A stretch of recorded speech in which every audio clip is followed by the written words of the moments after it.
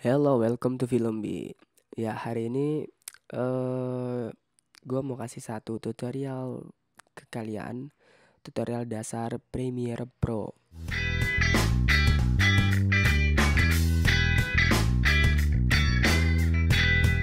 Di sini gua pakai Premiere Pro CC 2017. Kenapa gua pakai Premiere Pro CC 2017? Karena ada optical flow dan lumetri color. Oke, jangan khawatir kalau kalian pakai versi Adobe Premiere Pro CC 2014 atau CS itu tidak berpengaruh kepada tutorial ini. Karena di sini gua bakal, kasih ke kalian tutorial dasar yang bisa diterapkan di software Premiere Pro berapa aja. Oke. Di sini ada welcome to Adobe Premiere Pro. Di sini ada open a recent item. Di sini uh, tempat video-video yang sudah kalian buat ada di sini. Kalau kalian belum pernah bikin video pakai Premiere Pro, nggak di sini nggak akan bakal ada isi apa-apa, cuma ada open project sama open team project. Di sini ada create new, create new. Di sini kita akan pilih new project. Kita kasih uh, editing dasar. Jadi di sini uh, di sini ada nama, lokasi. Lokasi itu lokasi tempat project kalian. Di sini general, jangan ubah apa-apa di sini. Dan di sini scratch disk. Mungkin di sini uh, rada sedikit penting ya. Kalau kalau hard disk kalian full, jangan dipaksakan untuk menjalankan Premiere Pro. Khususnya untuk video preview dan audio preview aku saranin kalian pindah ke harddisk kalian yang masih lowong, yang masih kosong. Karena kalau misalnya nggak dipindah, itu bakal mengakibatkan lag atau bahkan crash. Dan itu sering gue mengalaminya. Oke, di sini gue kasih nama editing dasar penyebab penyimpanan di D. Kita klik OK. Oke, di sini ada empat panel empat panel penting. Project. Project adalah tempat video dan audio kalian disimpan sebelum dimasukkan ke timeline. Sedangkan timeline adalah tempat untuk menggabungkan beberapa video dan audio menjadi satu ada di sini. Tempat kalian edit-edit, potong, memasukkan efek dan lainnya ada di sini.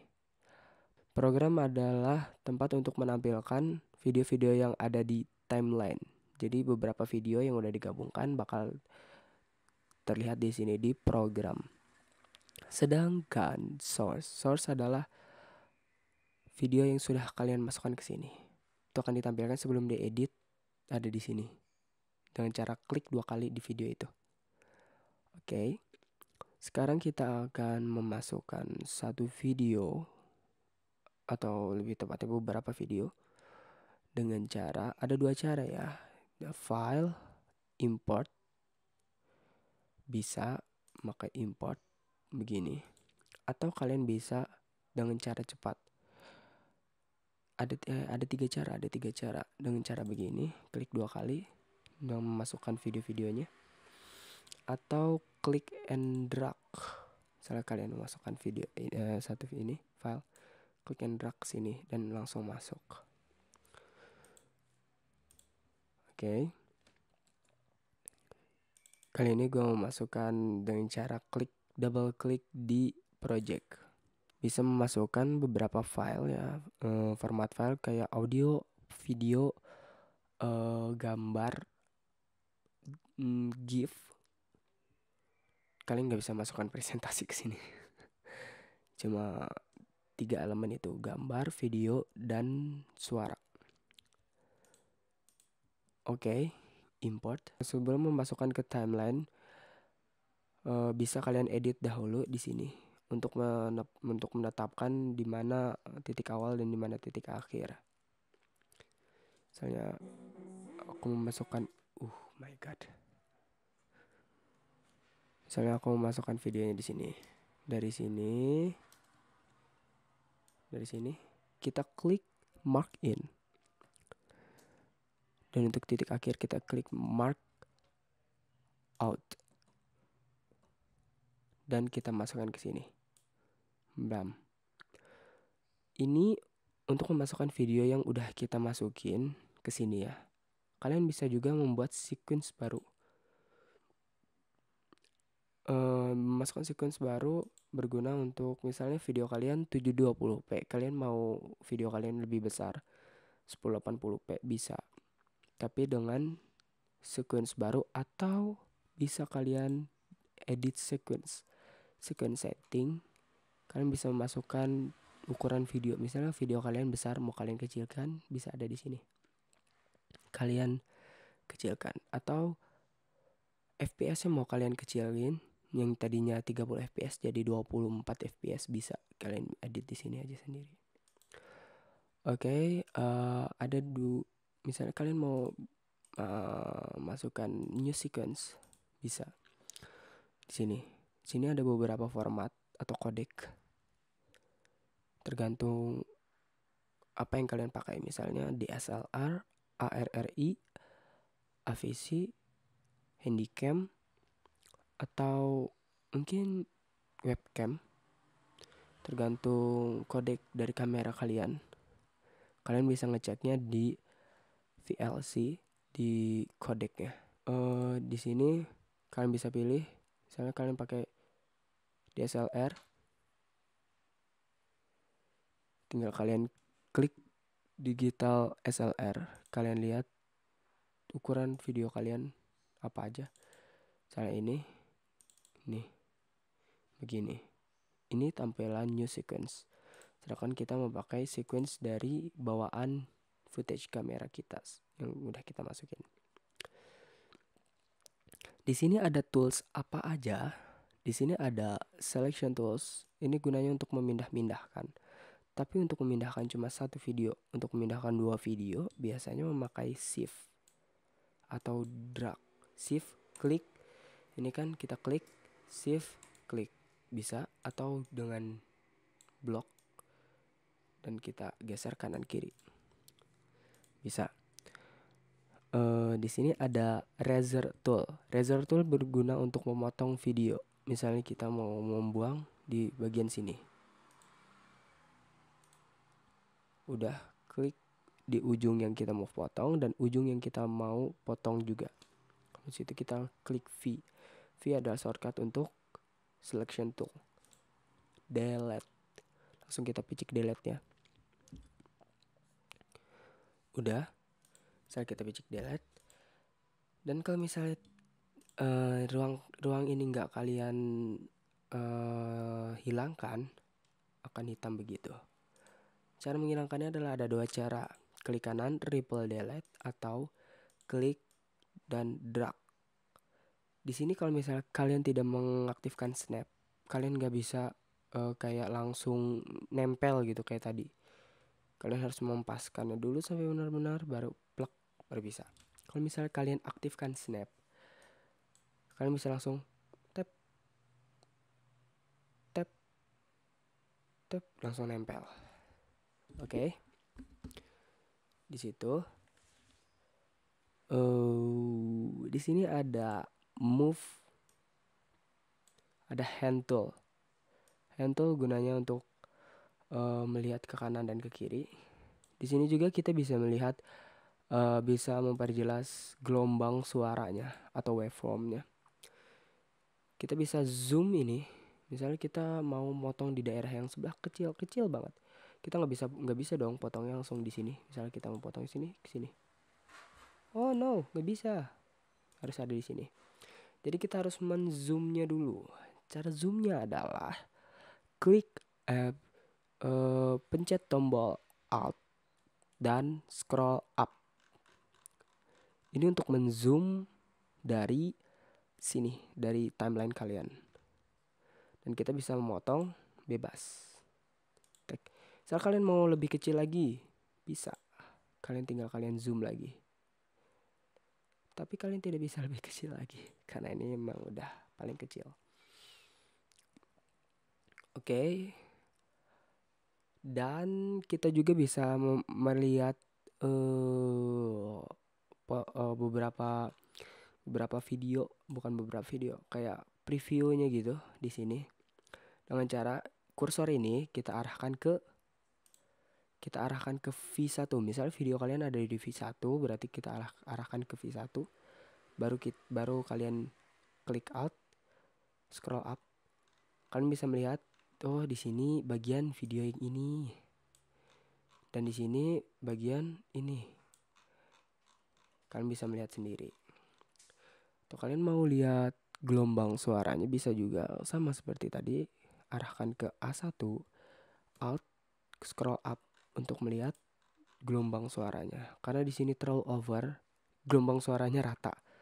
Kalau kalian suaranya standar gitu bakal kelihatan kayak gini kayak ada uh, zigzag zigzag gitu oke okay.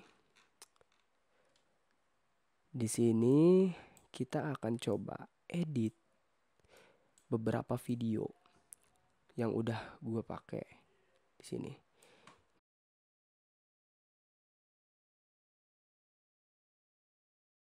Di sini kalian bisa memisahkan antara kalian bisa memisahkan antara audio dan video.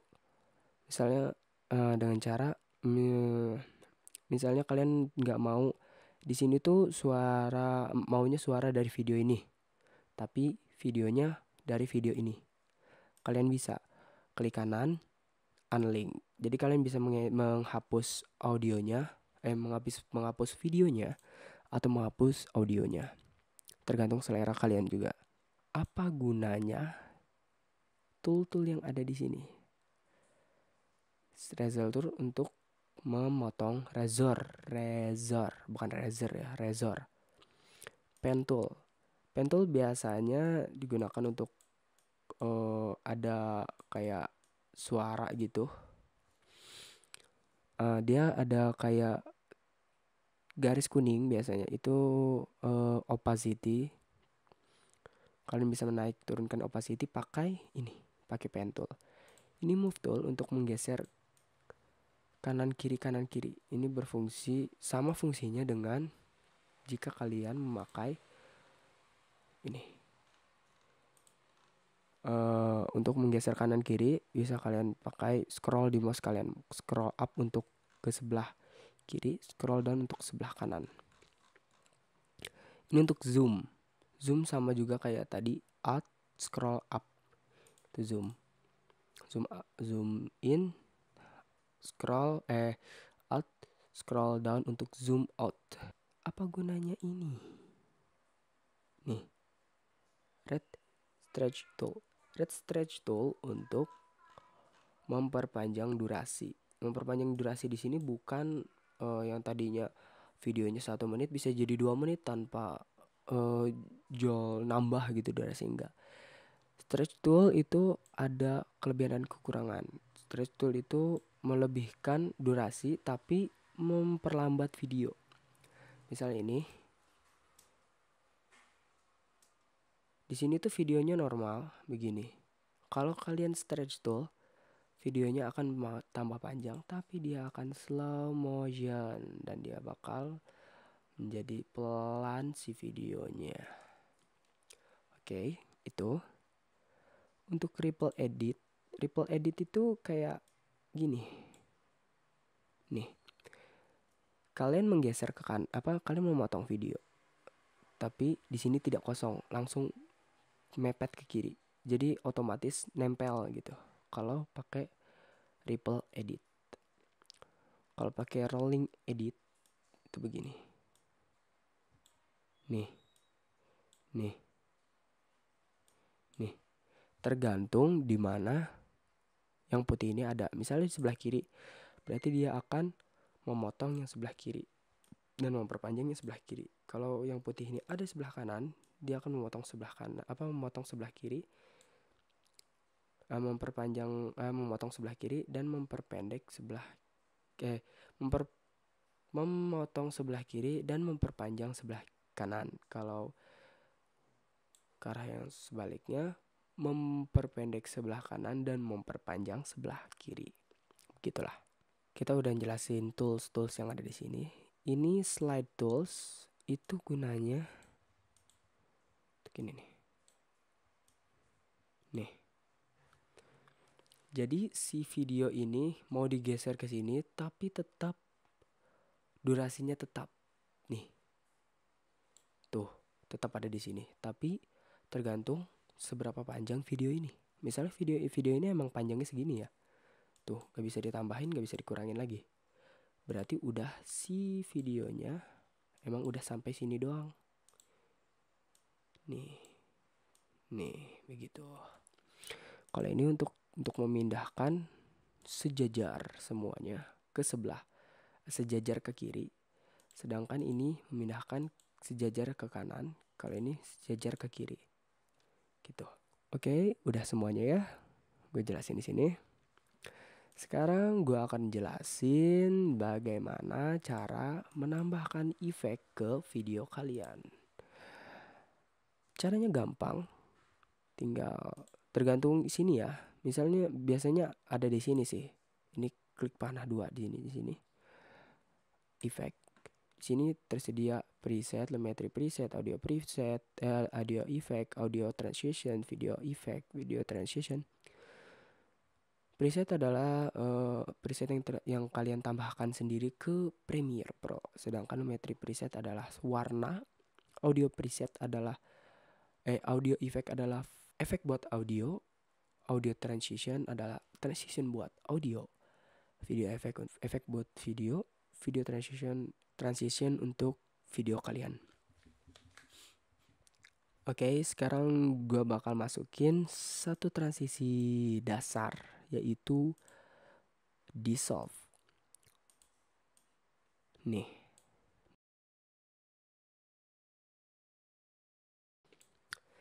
Jadi yang gue mau adalah transisi dari hitam ke video. Berarti kita masukkan cross dissolve. Begini. Kita bisa menyesuaikan cross dissolve-nya ya. Misalnya cross dissolve ini terlalu panjang menurut kalian. Kita bisa kita pendekkan dengan cari sampai si ujung itu berbentuk begini. Kurung tutup dan ada kotak kecil itu yang dibagi dua. Ini. Jadi hasilnya begini set gitu jadi gue mau gini ini terlalu gue mau gini. Gini. Dan di bagian sini gue mau si videonya kayak uh, acara-acara selebriti gitu yang dia ke putih gitu ya. Gini caranya. Seret. Kita masukkan uh, aditif dissolve. Gini. Di bagian sini mau transisi lembut. Dari dua video itu uh, saling bertumpuan uh, opacity-nya begini seret gitu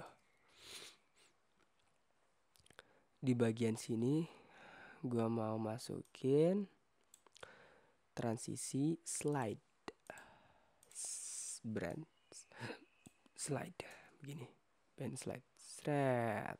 Oke. Okay. Itu cara memasukkan transisi. Dan apa ini garis-garis merah kuning merah kuning di atas ini? Merah artinya ngelag, kuning artinya standar. Dan ada satu warna lagi, warna hijau. Warna hijau itu begini penampakannya ya. Oke. Okay. Cancel nih begini ini hijau hijau artinya lancar tanpa ada ngelap gitu jadi kalau kalian mau udah selesai edit nih mau kalian mau kalian preview si videonya usahakan kalian post render post render dulu tapi ingat-ingat harddisknya harus kosong karena post render itu memerlukan space di harddisk Oke. Di sini kita juga bisa menonaktifkan ini, menonaktifkan suara dari mereka ini. Nggak perlu di unlink terus di delete satu-satu nggak perlu. Sini ada mute track dan solo track. Mute track untuk membisukan si video ini. Misalnya gini. Di sini kita mute tapi di sini normal. Begini jadinya. ini mute ini mute kan dan di sini berbunyi oh my god dan di sini mute lagi. Gini. Dan kalau misalnya kalian solo solo itu cuma untuk eh solo itu artinya cuma suara ini doang gitu. Suara yang lain gak ada. Walaupun kalian giniin walaupun tidak kalian mute suara ini tetap dia sendiri yang jalan. Dan ini tanpa mute ya gitu. Tanpa mute. Kalau kalian solo track berarti cuma satu doang yang nyala audionya. Oke gimana cara memasukkan efek untuk audio? Sama cara memasukkan efek untuk video tadi. Tinggal kalian klik dan drag saja. Misalnya kalian memasukkan audio effect misalnya bassnya lebih kencang atau dia band pass band pass itu suaranya gitu. Dan bisa juga kalian masukkan transisi transisi kayak crossfade. Ini crossfade crossfade itu dari kecil ke tinggi gitu dari kecil ke dari volume 0 ke volume 100 eh dari dari 0 ke normal Kalian bisa juga cari efeknya di sini ya. Di sini ada kolom pencarian. Dissolve. Cross dissolve. Oke. Okay. Dan kalian bisa seperti yang tadi gue bilang, kalian bisa menonaktifkan ini. Cara di mute dan kalian masukkan uh, audio yang kalian mau. Kita masukkan di sini. Nih. Cara masukkan audio sama seperti memasukkan video tadi. Tinggal klik dan drag. Jangan ditaruh di sini. Kalau ditaruh di sini ini bakal menimpa audio dari video kalian. Masukkan audionya di bawah file audio video kalian. Dan di sini kita bisa menambahkan teks. Dan kita bisa mengubah warna. Untuk mengubah warna jangan langsung ke videonya tapi usaha uh, biasakan menambahkan adjustment layer karena dengan adjustment layer kita bisa mengubah opacity dari warna dari warna yang sudah kalian masukkan itu. Cara memasukkan tulisan itu memakai title. Title. Masukkan sini. Misalnya kita, eh, misalnya gue mau masukkan tulisan Vita Nova. Dan jangan khawatir, hitam ini adalah hitam dari background video background di timeline kita. Kita bisa menambahkan background untuk ini. Caranya di fill di sini. Di fill background. Nih, background. Kita bisa menambahkan background hitam. Sini gua nggak mau pakai background ya. Kita bisa, kita juga bisa menambahkan shadow. Kita masukkan Vita Nova. Dan kita juga bisa masukkan efek di situ di tulisan kita kita bisa menduplikat dua teks ini. Eh kita bisa menduplikat teks ini dengan cara klik terus tekan alt geser ke mana kita mau copy teksnya. Kalau udah ini bakal ke copy. Tapi kita harus mengubah si tulisan ini. Kalau misalnya si tulisan ini enggak kita ubah berarti tulisannya bakal sama dengan yang sebelahnya. Kita kita ubah jadi nama indah. Ini ini jadinya. Ini. Terus di sini uh, eh, gue punya sampel audio. Audio gratisan. Kita bisa masukin efek kayak dissolve gitu tapi di sini namanya constant power. Kayak kayak volume 0 ke volume 100 gitu jadi dari kecil ke besar dari uh, gitu. Gitu. Jadi mungkin kita bakal ambil audio yang ada di sini. Kita kasih constant power di ujung-ujungnya. Dan hasilnya gini. Dia dari turun ke atas. In uh, tutorial ini adalah tutorial dasar ya. Diingat lagi ini tutorial dasar. Untuk tutorial-tutorial selanjutnya kalian bisa subscribe channel ini. Atau mungkin kalian bisa melihat di channel-channel lain seperti Anjas Maradita, Donat, uh, film Riot, film film Riot itu dia lebih ke advance sih.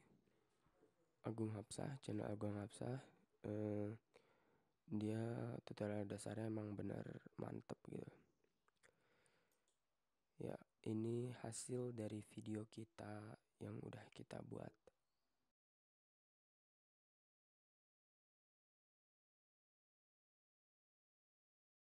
Oke okay, video oh, oke okay, sekian video dari gua uh, jangan lupa klik subscribe like komen atau kalian mau tutorial-tutorial selanjutnya atau kalian mau request tutorial kayak Sam Calder mungkin Sam Calder juga udah banyak mungkin tutorial-tutorial lain uh, tutorial Premiere Pro After Effect Audacity atau apa gitu kalian minta mungkin bisa gue share ke kalian semua. Oke, okay? jangan lupa berbagi, berbagi ilmu. Oke, okay, till next time and be creative.